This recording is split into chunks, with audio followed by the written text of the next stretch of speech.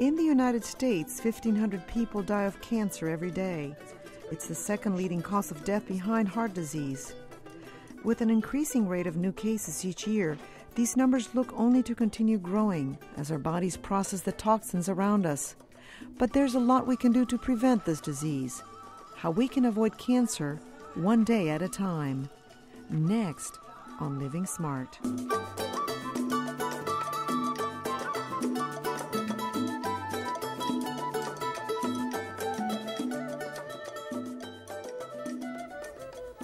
Welcome to Living Smart, a show designed to help you get the most out of life.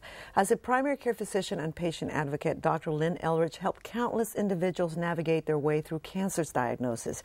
After 15 years, she left her private practice once she realized she could have more of an impact by educating the public about lifestyle practices that could reduce the risk and recurrence of cancer.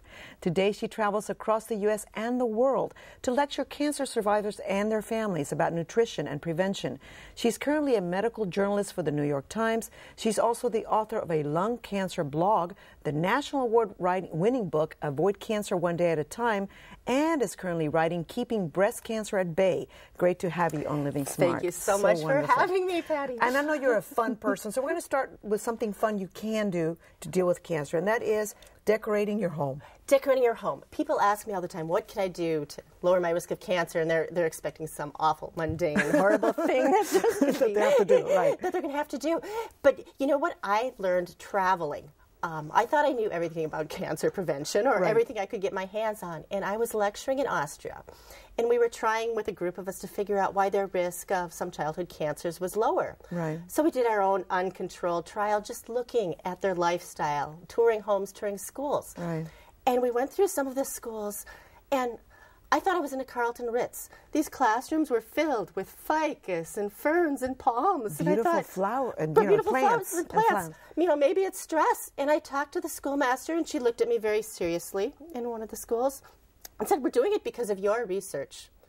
And we have spent a lot of money. Um, PhD scientists at NASA have studied houseplants and their ability to absorb carcinogens in the air. Amazing. And we know indoor air, the EPA tells us indoor air is much worse than outdoor air. Right. And a simple house plant, a spider plant in a room can absorb about 90% of the indoor air carcinogens. That's amazing. And how simple is that?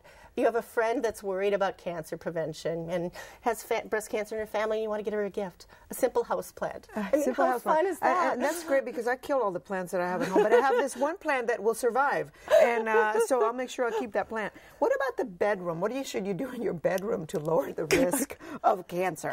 I love this question, and I asked this recently speaking, and it was so fun because I said there's something you can do in the bedroom that lowers your risk of cancer, and a very timid 19 year old man stood up, about 19, and said, Sleep? And a woman that I'm sure in her 90s jumped up and said, I think it's sex. I think it's sex. yeah, so it's very and, healthy for you to have sex to prevent cancer. Both. Good clinical studies have shown both a healthy amount of sleep and a healthy sex life can reduce your risk of cancer. That's well. What is considered as healthy sex life, though? A healthy sex life. Because for some people, you mm. know, and they've actually done that with men and right. prostate cancer. And there is a number. It's in my book. You can find it if you Google it on the number in the study of, they did on Harvard students okay. um, that seem to lower how, the risk of prostate times? cancer. Okay. But that's a breast cancer prevention one too. Um, okay. Oxytocin is released. Um, Wonderful, during, wonderful during thing to know. And, See, yeah. what a great thing. Yeah. Um, so, I, I, think that also let's go into the diet. There's a cancer prevention diet. Everybody thinks, oh no, I have to go oh. on a oh. diet. It's terrible. But there's easy things you can do, right? There's easy things diet. you can do, and make it fun. And if anybody's wondering where to start, I'll say find a Mediterranean cookbook or Google some oh, Mediterranean oh, recipes. I mean, it's not just cancer prevention, but the Mediterranean diet has been shown to reduce the risk of death from almost all causes and make it fun. That's you know, right. Sometimes coming up with different foods you're not used to cooking. Um, I really like having fun, especially when my children's friends come over. I like cooking things, and it's like, what do you suppose this could be?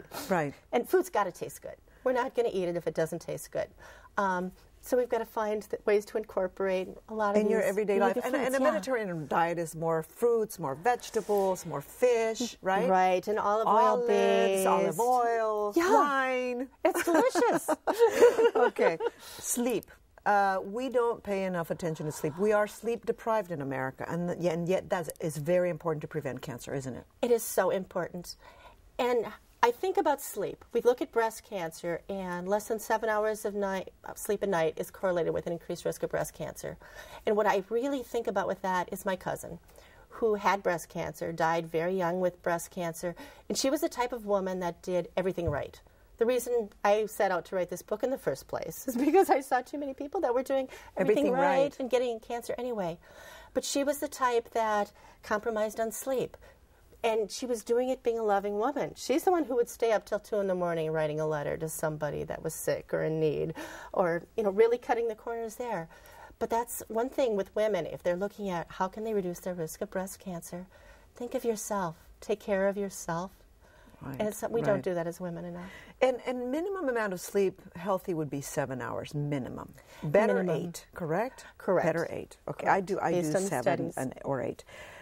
We we are very concerned about our children, and if we could teach our children to prevent cancer, we wouldn't have this epidemic. So let's talk about how cancer proof our kids. cancer proof our kids and that's where we've got to start we know a lot of these things take many many years and what's happening to them in childhood adolescence is going to affect how healthy they are when they are 40 or 50 number one thing is involve them um, i have one of my children a boy that's 15 that likes making cancer prevention recipes because you make it fun and entertaining um, but another thing is live it. If they see us going through our house looking and watching for chemicals, different things, they're going to live it because our kids don't listen to what we tell them. They don't listen to our words. They look at our actions and they want Right, they right, try to right. They see like your we do. actions, right. Yeah. Let's talk about how how we can save money with cancer prevention tips. This is so fun. And when I was writing, I got horrified when I was writing this book. And I went through all of my cupboards, went through the garage with a list of carcinogens, which I don't recommend to anybody. You'll drive yourself nuts, and stress isn't good. Um, but by the time I eliminated all the chemicals that I was concerned about, I ended up cleaning my home with vinegar, baking soda, Right, lemon juice, which are natural and things olive to oil. do. And you know what? It's simplified life. It's cheaper than all of these other chemicals. Um, so we think of adopting this lifestyle is so much work, but it can really simplify our lives and save us and money. it's a lot cheaper. Let's talk about something that's that's very basic, basic things we can do, like sunscreen. People don't realize how important that is. Basic things like sunscreen. I, I think we get so caught up in we see the advertisements and th- we think this is a cure-all, but the risk of melanoma, which causes at least 75% of um, Skin cancer, skin cancer fatalities, the risk was one in 1,200 in 1935 before they had sunscreen. And now it's less than one in hundred. So some of these risks are going up. Sunscreen is not the total answer. Okay. Um, in fact, it can block some vitamin D. But what did they do before? They were careful. What did they, people do before? They avoided going out and getting sunburned. If they were a little pink, they'd come in. Okay. Um, and actually, they were sent outside to get their vitamin D. They'd cover up. But we've forgotten a lot of these common sense things. That's cheaper anyway, too. That's right. now, now, as a breast cancer survivor that I am, um, vitamin Yes. D is very important. Tell me about vitamin D. Vitamin D is very important. is that for all And cancers or just breast cancer? I believe all, all cancers. We're seeing studies back and forth, and you'll see one study kind of poo pooing it. Uh, we know people, even the South, um, about 50% of people are deficient in vitamin D. Um, and for even for survivors, we've looked at survival. And if you go from the north to the south across the United States, survival for cancer increases. Interesting. And Do we know why? We don't. Vitamin D is one Vitamin of the D big is very- theories oh, in sun exposure. because Of Um, course, it's too cold out up there in, in. Minnesota. Yeah, but that's one thing that I it, it, cancer survivors come up to me often and say, "What's that one thing I should ask my doctor?" And, and I have a whole list, but it's like, have have they checked your vitamin D level? And Very important. to you about it? Very important. What about aspirin? I, I just read recently. I know aspirin's good for, to keep uh, heart disease away once a day, but what about breast cancer, or, or not just breast cancer, cancer in general? I read that it's good to take an aspirin a day. You so know, it's this two is for the what- price oh, of one. An aspirin a day for cancer prevention is something you should talk to your doctor about. Okay. I mean, it's, it's all these risks and benefits we have to weigh. We know that some people get gastric hemorrhages and bleed from aspirin too. Um, the thing we need to look at is a recent study came out and it showed a 20% reduction in cancers, several cancers, with an aspirin a day. Um, in that study, it was people who took it religiously daily and didn't forget for five years. Which is tough, huh? So what I've done, and, and we haven't really researched it a lot, so I looked at the heart disease studies, and it, an aspirin a day can reduce the risk. But if people take it a while and stop, they get this rebound effect, and it increases their risk. So I'm a little you have to make afraid. a deci- You're afraid It's- that it's- yeah, yeah. that they're they're going to start taking it and stop Right. taking it. So if you decide to take it, first of all, talk to your doctor. Talk to your doctor, and you have to take it for the rest of your life. Be committed. Okay. I mean, it is. It's, right. If your doctor im- thinks that the risks outweigh, you know, the benefits outweigh the risks. Well, I already started, Yeah. so we'll see. Uh, mammography. Very controversial recently because of the studies that were done, um, I guess, here in the United States, and the fact that in Europe women start doing mammography at age 50, where we start at age 40. Yes, and, and the European studies are interesting when they, you know, survival. They're talking about there's a benefit if you do them between 50 and 70 every two years, and you know we have we've had a lot of different recommendations here. I think this is another one that if you look at the U.S. or if you look at Europe, we're talking statistics. We're not talking you. We're not talking me.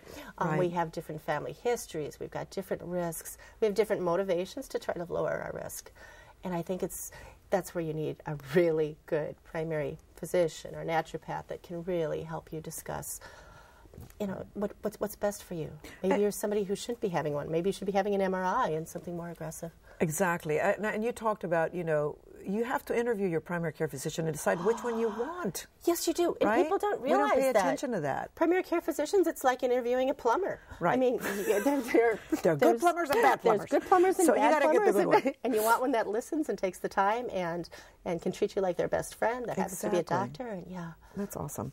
Let's talk about um, the five most important things to reduce the risk of developing cancer. And the first one you have here is the one that's so hard, which is be lean. I know. Let's talk about that. Be Be lean. lean. and that Be lean. Um, American Institute for Cancer Research right now, that's their number one recommendation, and it's be lean as possible without being underweight. Um, very hard, but we know right now, we look at eh, tobacco is causing um, cancer, but smoking and obesity are running head to head as the leading cause of cancer right now. Obesity is expected to pass, um, and it actually was last year. So it's, it's very, very important. And you talked about how we don't need to, just, we just need to move. We do, again, fun. We have to make this fun. Being lean doesn't have to be horrible. It can be fun. No, it can be fun. Oh, we had more fun talking about this. And you can dance when you can clean your house. And and I love the study we talked about with breast cancer prevention, where they took women who worked out at a club or recreationally and versus domestic exercise and, and domestic exercise lowered breast cancer the most and domestic exercise is vacuuming and washing the windows and, And it running doesn't around have your to home. be terrible. You can just No, crank up the no. music and, and clean the No. house. Uh, the second one, be environmentally aware. Let's talk about that. environmental awareness is so important. I mean, we're, we're look how long it took to realize that cigarette smoking caused cancer, and before that was accepted. Um, right now, only about two percent of the chemicals that we use have been studied to see if they cause cancer. Um, so even if we're looking at everything carefully for labels, we're not necessarily going to know. I think that's where just really being aware ourselves that somebody's not standing here looking over our shoulders protecting us and, and shaking Right, their right, finger right. and, and we really have to, We have to do our homework. do our homework De-stress. I mean, this is a given. De-stress. De-stress is important. And, and we've talked about this patty and, and Yeah. you, how many people do you see and they have some major stressor six to 24 months earlier and develop cancer? Right, um, right. there's stories everywhere. Um, there have been wonderful studies done out of sweden on stress and increasing the risk of breast cancer. But this is not one of these negative horrible things. We can get excited because it wasn't objective stress. It wasn't the you know relationship changes and job changes. That really didn't make a difference. It was subjective stress, how stressed out you feel. And we can do something about that. We can work with stressors. With we can take mind. responsibilities and say, this is stressful in a relationship. They're not going to change. I can change myself this Right, way. right. Um, look at ourselves. Mainly taking responsibility for your own thought patterns and, and, and how to uh, Yes. deal with life as opposed to blaming everyone else. Right. Um, be your own advocate, which is, goes back to your cousin's story. Be your own advocate Mm. first. You have to be your own advocate. And getting sleep, getting exercise, also in the medical world. I mean, we're looking at a lot of this information on CT scans, especially in children, raising the risk of cancer down the line. And the study, American College of Radiology, said 2% of children are going to get cancer in their lifetime just from radiographic medical radiology studies. Right. Um, we don't want to throw the baby out with the bathwater. I mean, a lot of those are really, really important. Right. Um, but ask questions. You know, if they, somebody recommends a CT scan. Would an ultrasound work as well? Right. Would it be just? Would it be fine if we waited three days? Um, asking questions you would with a plumber. They want to do one procedure, you would say, well, you know, tell me about all these different Right, things, and you know what. exactly. and it's your health and it's your and life. it's our health and Right. it's our life. Okay, the, the, the, the fifth one we, we kind of know about quit smoking, but if you don't smoke, check your home for radon. and radon is so under talked about. Um, right now, we know everybody lung cancer is the leading cause of cancer deaths for both men and women in the United States. Um, lung cancer kills almost twice as many women as breast cancer. But you know what? 20% of those women have never touched a cigarette. So and you can say what's the cause? Right. The second leading cause of lung, of lung cancer overall, and the leading cause non-smokers is radon exposure. Let's talk about and that because radon, created. it's just it's a normal radioactive gas um, that comes up from the soil into our homes. One in 15 homes in the United States has elevated levels of radon. Um, it's easy to easy to test for, cheap, And you 20 have bucks you or have less. five, and you and oh, you, and you created a wonderful list that made the New York Times, and it became viral, and everybody's looked at this list. Tell me about the list because I think it's very interesting. Yeah, check your home for radon. Not because it's probably the biggest bang for your buck if you want to lower your risk of cancer, but number one, it doesn't take any willpower. That's right. Number one, you can do it. It's not like exercise How that you should do it every do? How hard is it to check your radon levels? What do you have to do? Go to the corner store for ten or twenty dollars. You can get a radon test kit. You set it out in your That home easy. for a day or two. Send it in and get the level. That's amazing. And they let you. And there's repairs, and it talks about it if you need them. Um, but yeah, But, so yeah, easy. the first one is, is you, you, it, it does not take any willpower. doesn't take any willpower. No. And number two, And number two is you can do it once and forget about it. It's not I have to exercise half an hour a day for the rest of my life. You can check this and you can be done. Exactly. You've got, lowered your risk. Um, number three, it's cheaper than therapy. that's right, very expensive. and plus treatment, treatment if you get sick, right? treatment. right? And And number four, nobody will gossip. Yeah, nobody will gossip. Nobody will be jealous about it. you if you do it. Um, you've done it, and yeah. That's right. Um, nobody has to get jealous. And another one is, you know, if your level is bad, it's not. That doesn't mean that you're a bad cook or a bad house cleaner or a bad mother or a bad father or a bad Exactly. friend. It just means Exactly. the level's bad, and somebody else can come in and fix it for you. Yeah, I think that's very interesting. I never even heard anything about radon that much, though. That's good to know. Uh, Ten superfoods that you should have in your diet. Uh, Yes. as much as possible to prevent cancer. Let's let's go over those cruciferous vegetables. What a, f- a funny name for uh, what? Yeah, cruciferous What vegetables cover a lot, and broccoli will think. And even if you're a former president, you don't need broccoli to get cruciferous vegetables. You can radishes. There's kale, um, spinach. there's- lots of greens, lots of greens, Your yeah. cauliflower, lots of different greens, and Okay. big bang for your buck with those. Green tea. How much green tea should we be should we be drinking every day? Green tea, and you know, this is one thing you do want to talk to your doctor because there's probably you know that one in a thousand people that maybe shouldn't be drinking green green green tea. Um, I drink four cups a day, or Okay. else uh, some something equivalent to that. Um, but there's studies on nearly every form of cancer showing reductions. They're studying it in the Mayo Clinic right now for people with cancer, um, combining it with different therapies. Um, it's linked a lot, and I like things where they've actually done the studies looking at the molecular part of it and how it probably has an effect on the cancer cell. But you can also look globally, and you can say these places, these countries where they drink a lot of green tea have a much lower risk of certain cancers. Right, it's an So antioxidant, yeah, so it, an it does help. Berries, blueberries, blackberries, all kinds of berries. Berries Why are is that? What do they have that uh, help us out? A bunch of chemicals that I don't want to But the litter our minds with right now, but the antioxidants, The are wonderful. And it's I, I think of the blue, blueberries and blackberries as the broccoli of the fruit family. And This they're is- also easy. they're also easy to- throw yeah, them into they're- smoothies. I Right, mean, that's right. if, if you're looking how to cancer That's your what kids. I do in the morning. I, I do Yeah. a blueberry smoothie. Garlic and onions, that's sort of very much part of the Mediterranean diet, isn't it? Garlic and onions. garlic and onions, and uh, yeah. And it doesn't take a lot of garlic and adding, and you know, garlic and onions, and we can expand that. What we really have lost sight of with some, talking about some of the superfoods that the Mediterranean brings in is all of the herbs. Oh, yes, and very the important. powerful punch in so many Yeah. of these herbs that we can And I've heard turmeric is a very important herb, yes. right? Yes. It's an Indian herb, and it's very good. Pomegranates, too.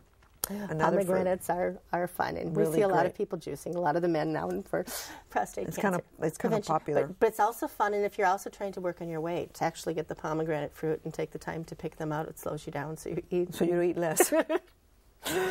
olive oil. Olive oil, people don't think about that much, but it has really great qualities or It does, and it's to prevent it's, cancer. it, it's kind of funny because you, now that now that we've talked about blue zones and these places where people live so long, and you see these hundred-year-old women climbing trees in Sardinia that are drinking a cup of olive oil a day. I That's mean, it. We have and to then they think go climb about a that. tree. That's right. but but yeah, the omega threes and um, really looking at the oils we get.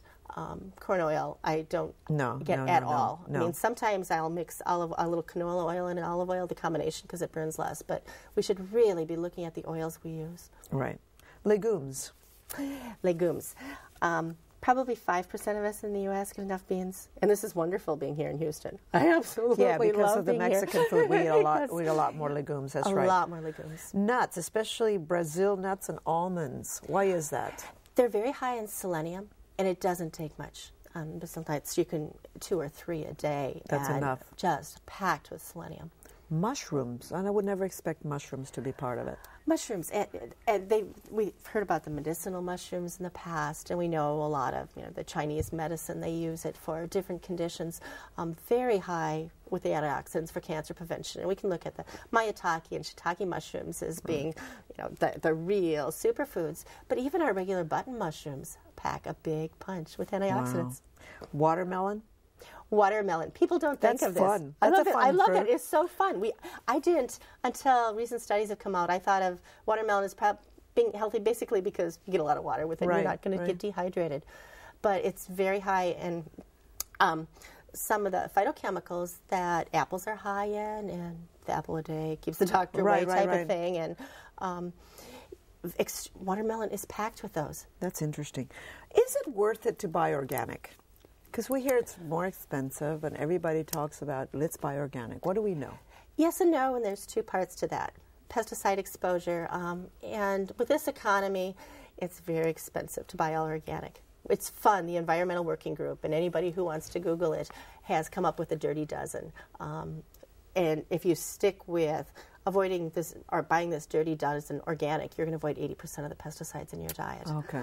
um, which That's is important. wonderful. And it's it's things with soft skin. It tends to be the peaches and the pears and apples and grapes and um, berries and um, lettuces. Um, but the other thing, I think we're going to learn a lot more about organics because some of the new studies are looking at the phytochemicals, these wonderful antioxidants, as being part of the plant's immune system. Okay. So if we grow them non-organically, we're probably protecting them from creating some of these wonderful chemicals we want for our health. You So- are you're also writing a book right now on breast cancer prevention, and there's some a lot of hope right now for women in breast cancer. There's there's a lot, both with prevention and prevention of recurrence, which thankfully we're finally looking at because that's such a fear for so many women. Um, and there's good studies out there. I wish we'd be hearing more. You, you uh, know about the, the the latest is targeted therapies, Targeted right? Tell- explain what that is. This is so good for women to know that there's hope in the future because we think about chemotherapy and traditional chemotherapy is just killing everything that's dividing Killing everything that's- fast right. and hoping that we catch The bre- cancer. the cancer that's mm-hmm. dividing fast as well. But the newer targeted therapies are designed for that specific cancer. So fewer side effects for the body and much more specific for cancer. So I'm very excited in finding ways of testing and who will see who will respond to different therapies. And and women are responding better now to to um, to cancer treatment than they ever have before with breast cancer. We've made so many so many Oh, so strides. many strides, and with the side effects, so many strides. Now let's try to sum it all up. Just one of the three most important things to remember about uh, breast cancer, not breast cancer, cancer prevention Cancer in general. prevention first. Number one is be smart, but be savvy. We talk about being environmentally aware, but we talked about, I was thinking of something that's all natural. It's organic if you grow it without pesticides. It's plant based, it's low fat, it's tobacco. Right, right, we don't right. want people using tobacco. So you've got to realize that there can be a lot of um, mislabeling, and all natural doesn't necessarily Mean it's mean, good, right. mean much. And plant based, hemlock's plant based, that doesn't necessarily um, mean that. Um, make it fun. And my children have been in sports, and you see these kids, you watch them, and they're working out for two or three hours, and they work so hard, or they'll work an entire day skateboarding. And I've never seen them s- sitting there thinking, you know, this is going to reduce my risk of cancer when I'm 50, or my coronary arteries are going to be cleaner when I'm 60. They're doing it because it's fun. Fun, that's right. So what we've got to do is we've got with with the exercise and eating healthy, we've got to find a passion. We've got to make it fun. Mm-hmm. We've got to enjoy life. Okay. Um, and the last would probably be do something, anything. It doesn't have to be one of these. these to do, does people say do the hardest thing on your list? That doesn't work for me because I just wouldn't do it at all. Or else you see have this whole list and it's overwhelming. You don't start. Do something simple. Pick up a house plant. Walk up and down the stairs Micro, five times. micro steps. How do you know you're living smart? Listen to your body. Our bodies tell us. And I think we learn to unprogram them so that we can eat fast food and be sedentary and we don't feel it. But the more we take these tiny steps, the more we see how we feel good and we start to listen to our bodies. And then if we're sedentary or we eat fast food, we don't feel as good. Our bodies tell us. And you, you made some decisions that made, after you knew all you, that you knew, you made some decisions to change your life, and, and, and you're doing great. So, it, well, thank you for writing all those books, and we appreciate you coming here, and all the way from Minneapolis. Thank you so much. Thank you, Patty. And to learn more about cancer prevention and nutrition, go to our website. There you'll find a complete resource list. You can also email us or call us with your comments at 713 743 8513. That's 713 743 8513. And that's our show for today. I hope you've enjoyed it. Remember to live smart. I'm Patricia Gras. Have a healthy week.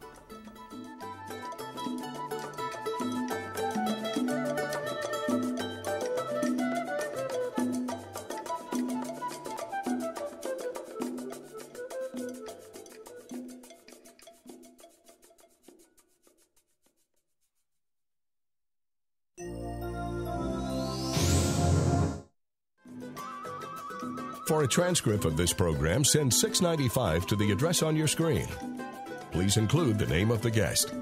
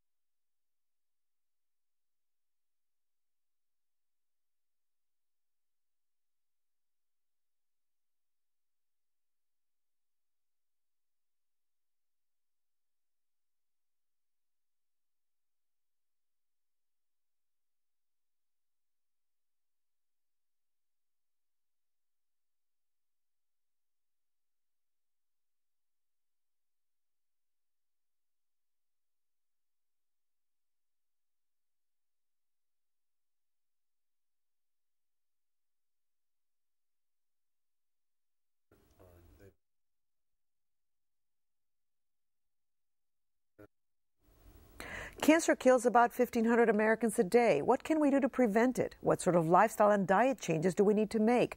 How do we become more aware of carcinogens and toxins that cause it? Does exercise and sleep really make that much difference? Next on Living Smart.